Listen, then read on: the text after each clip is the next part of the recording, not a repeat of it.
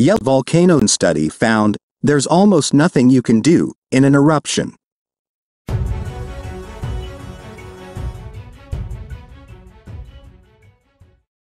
A Yellowstone volcano eruption simulation found that there was hardly anything people living near the supervolcano could do if it wanted it to erupt. Yellowstone National Park is perhaps one of the most famous wilderness areas in North America.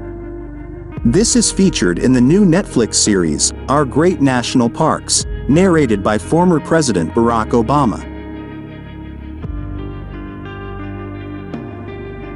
The five saw him visit various national parks in the U.S. while sharing their history and environment, exploring the flora and fauna that call the area home. While Yellowstone is known for its incredible natural beauty, what really attracts millions of visitors and scientists alike is its supervolcano status his.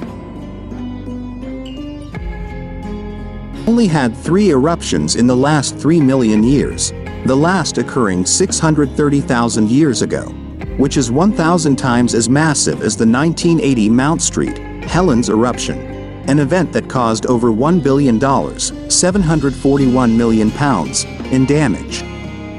During the eruption finally, the sheer volume of material caused the ground to collapse, creating the basin now known as the caldera, 55 kilometers wide by 80 kilometers wide.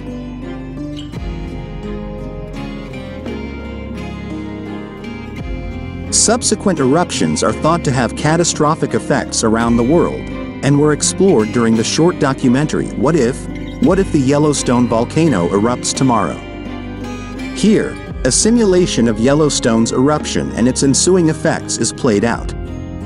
The narrator notes, Right now, in the US, one of the world's largest volcanoes is preparing to explode.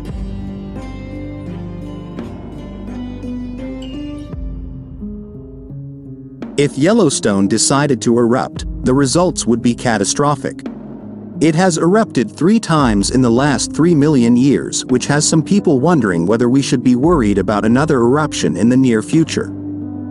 But if an eruption happens tomorrow and you live in North America, there's almost nothing you can do to prepare.